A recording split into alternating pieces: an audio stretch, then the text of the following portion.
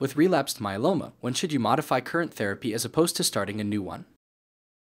Most patients who have disease that's becoming uncontrolled and they're trying to see whether they can modify their current regimen, usually the modification of the current regimen is unlikely to be effective. There are two known things that can occur. One is that the addition of dexamethasone can provide some delay in the patient's myeloma and provide a period potentially of disease control with the rest of the regimen staying the same.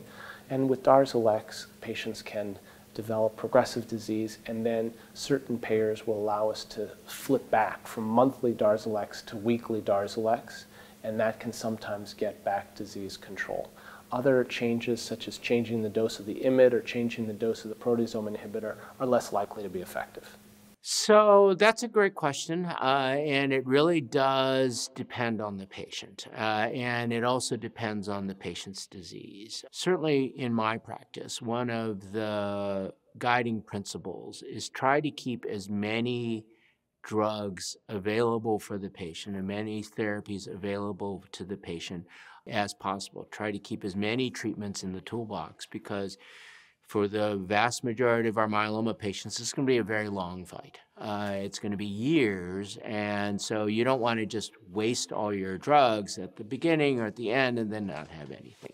So the key piece of the strategy that we use for treating myeloma patients is try not to use drug A that will also cause resistance to drug B and drug C. So instead of just becoming resistant to drug A, you've actually knocked out three drugs by using that. So a lot of how we design is that, for example, if a patient looks like they're beginning to relapse, and we can add another drug to their current regimen to actually synergize with the current combination. We'll try that first.